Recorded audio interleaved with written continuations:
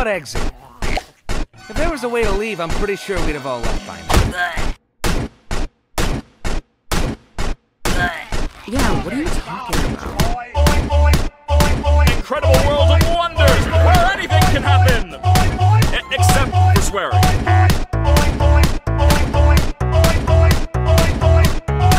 We're gonna make it a simple in-house adventure. In-house